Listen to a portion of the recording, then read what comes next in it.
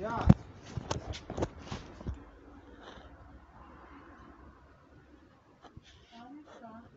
Lucijan. Uh, jo bom poklical.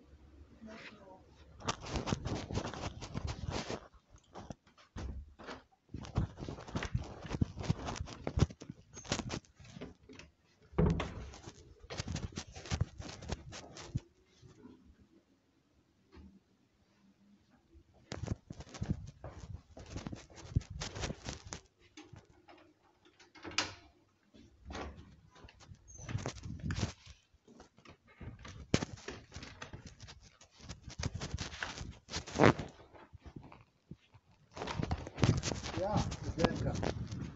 Mama spet zdaj. Dajte mi povedati, da lahko kaj za vas naredim.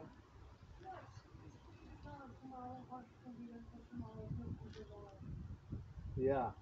E, spi zdajle. Spi.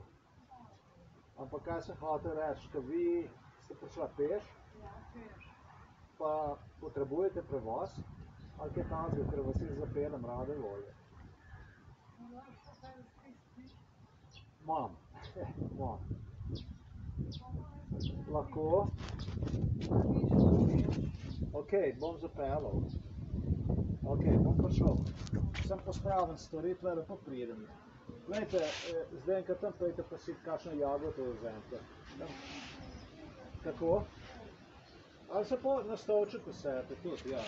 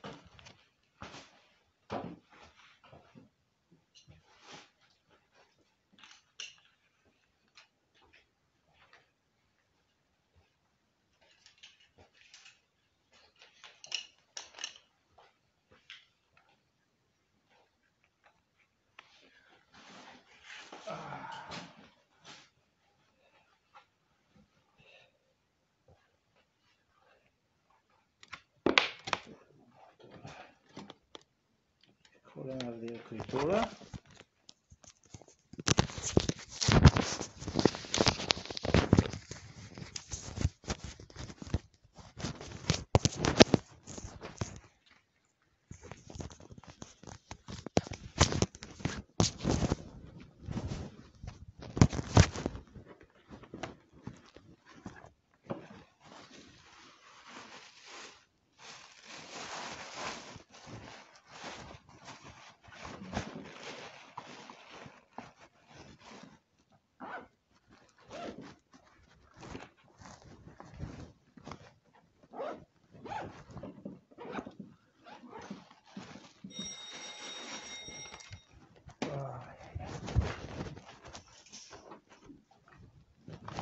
Zdenkica, zdaj le pridem. Ne, ne, grem peš, sem se odpočila.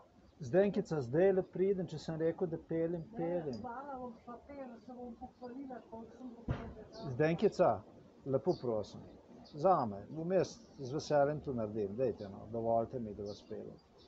Jaz sem tudi res pomoč. Vse vem, da lahko, ampak jaz bi vas želel peljati. Dejte, no, lepo prosim.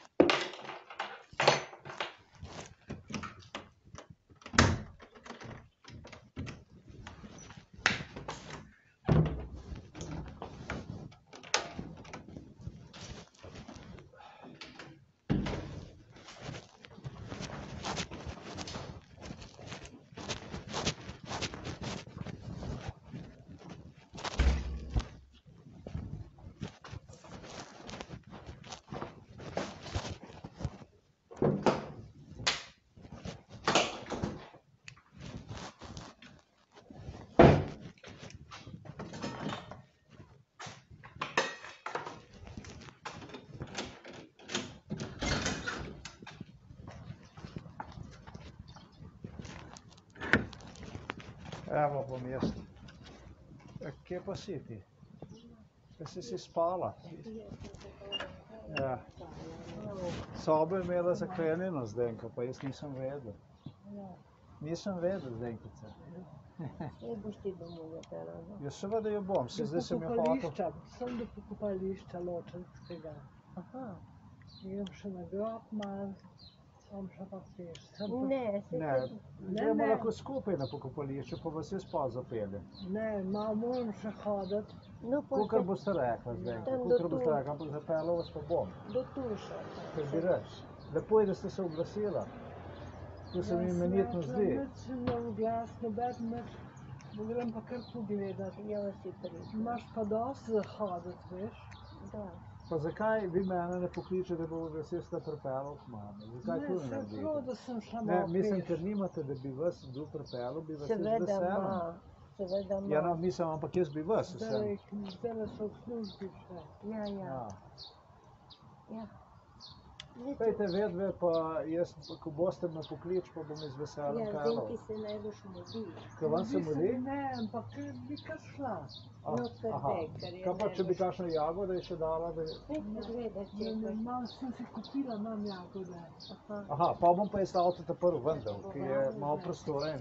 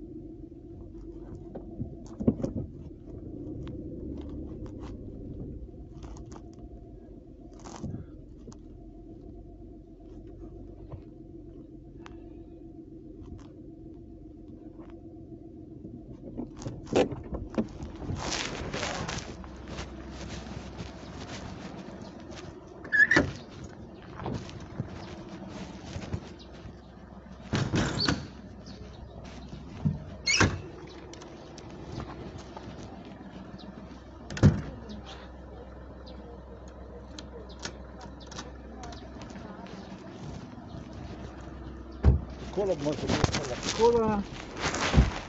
To je to. A, če se boste pripeljal, vam bom jaz pomagal. Je, tale se, ja, tako, ja. Tako, a, super. In kako ste kaj? Ja, zdaj nisem dobro. To Ja. nekako pogrešam. Treba je pač, eh, kako bi jaz rekel, to je pa hudost, huda stvar, ja. Čisto tako povedal.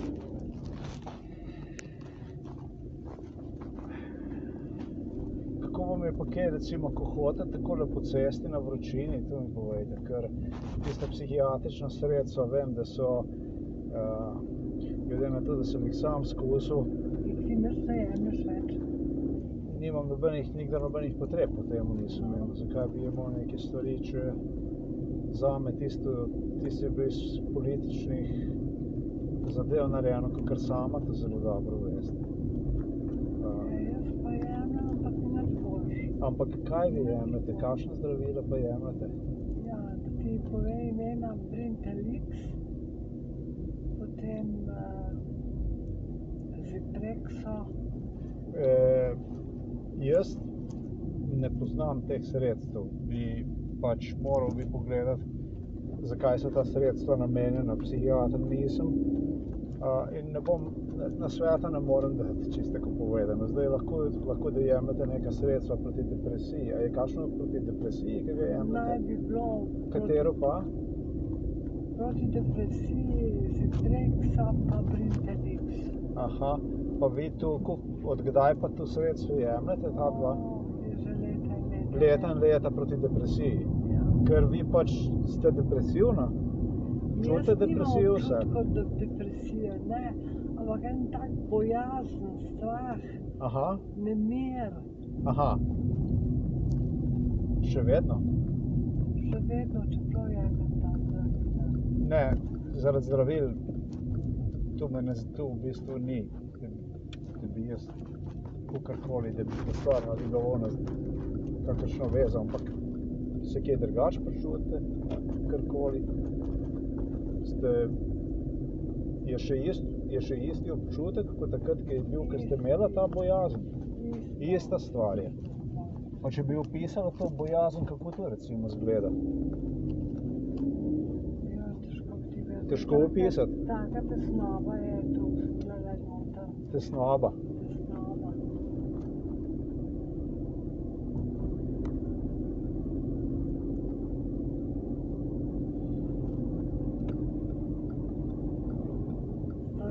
Kosla z mamo, Prosim?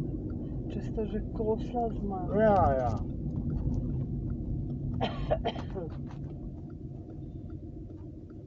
Ja, tako pravite, to pa.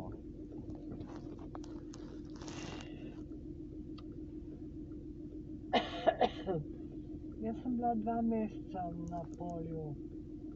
Bila ste v Ljubljana polju, ste bila? Ja, Dva meseca ste bila? ja. Ja?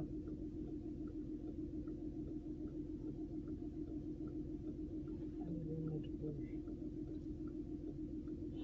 Eno maso zdravil, sem jih še dodatno napisala. Ja. Malo sprememba elementa je pa bila, ni bila tako, malo ste Ljubljana, v Ljubljani bila pa tako, ne? Eh, Ja, kako bi rekel, um, še dodatno so vam dali zdravila, pravite?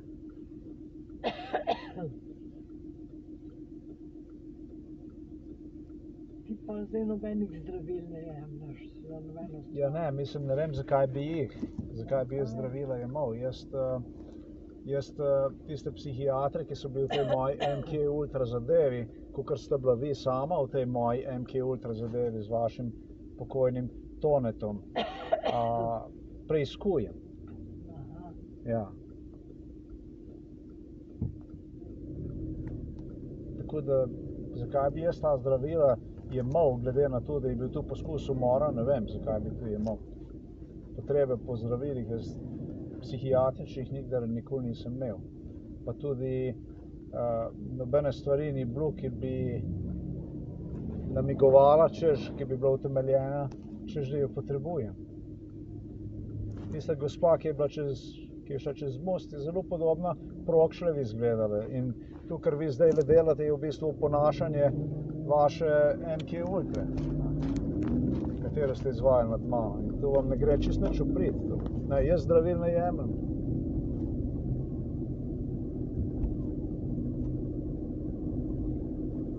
Sem pa vesel, da sem vas lepo pripeljal tukaj, Hvala da boste, ti. da sem vam pa olajšal, Zdaj bom pa lepo mirno domov šla. ali vas pa jaz počakam, pa Ne, peljem domov, ne, najraje, hvala, koliko ker moram- želite. Moram še malo peščati. Tukaj smo zato, da pomagamo. No, lepo. Zelo lepo si bil v stregu, Z veseljem. lepo si pelal.